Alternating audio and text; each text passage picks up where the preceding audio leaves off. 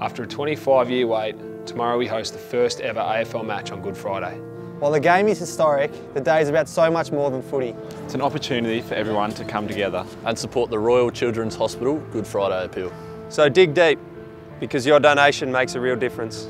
To the lives of those children and their families. So please donate today at goodfridayappeal.com.au or call 1300 Appeal. Give that they may grow. Give that they may grow. Give that they may grow. Give that they may grow. Give that they may grow.